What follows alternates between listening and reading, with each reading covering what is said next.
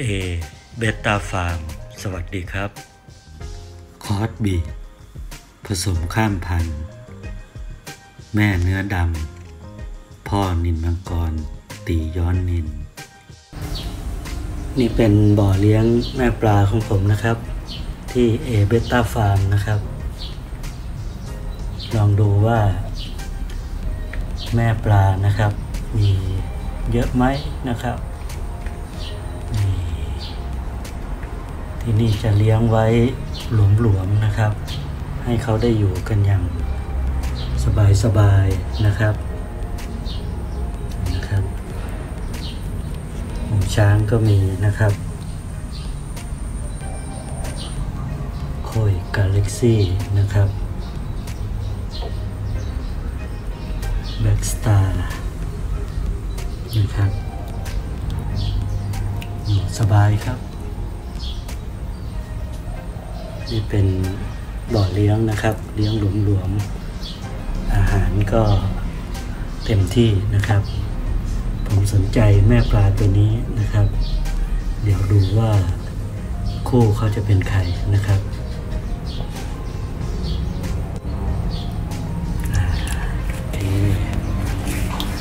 ใส่ไว้ก่อนเลย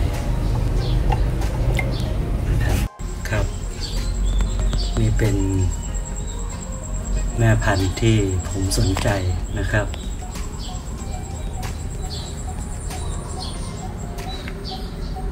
สมบูรณ์มากนะครับ หางนะครับลักษณะลำตัวนะครับ สวยแล้วก็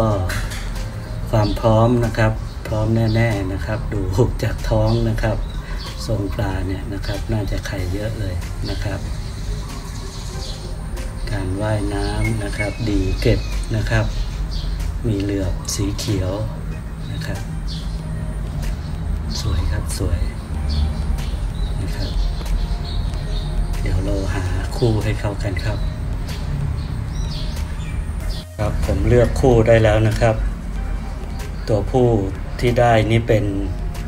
นินตีย้อนนินนะครับ ในสายของนินมังกรนะครับ สวยมากเหลือบสวยๆเลยนะครับทรงปลาดีมากๆนะครับเนี่ยนะครับ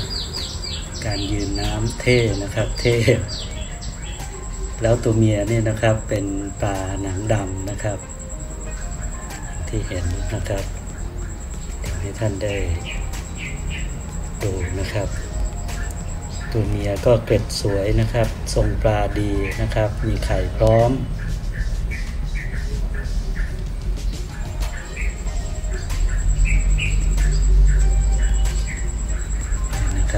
ยนวนเวียนหากันแล้วนะครับ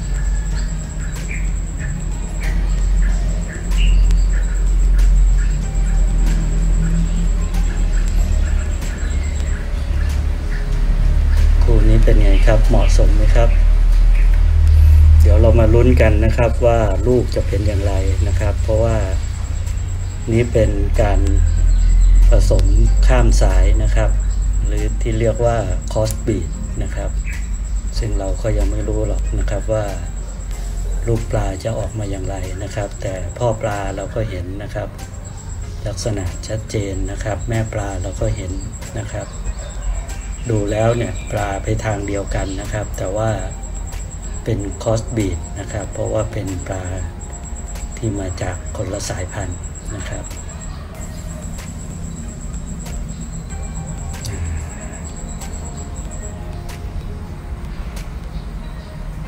น่าลุ้นไหมครับ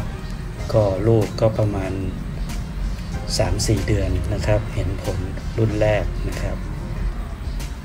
ถ่ายในแสงธรรมชาติตอนเย็นเลยนะครับ เกือบ6โมงครึ่งแล้วนะครับ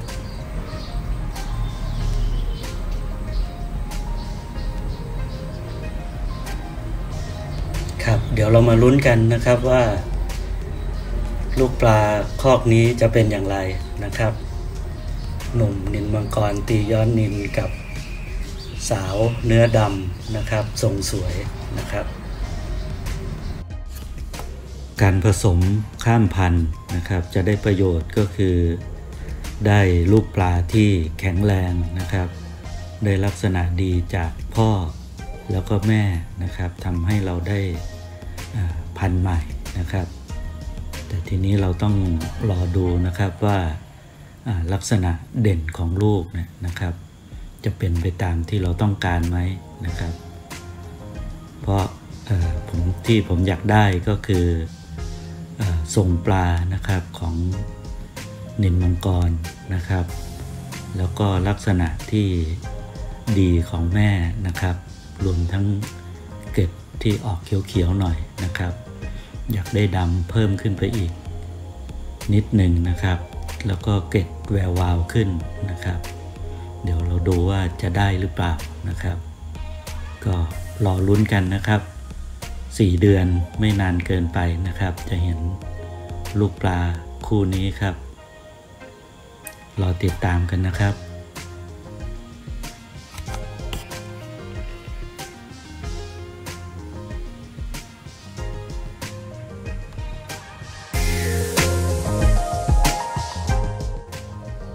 เป็นเรื่องราวดีๆ จาก A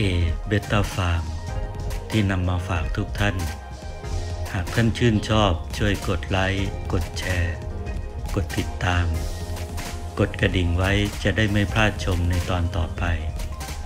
ผมจะนำเรื่องราวดีๆ มาแบ่งปันกับทุกท่านในตอนต่อไปครับ ขอบคุณมากครับ สวัสดีครับ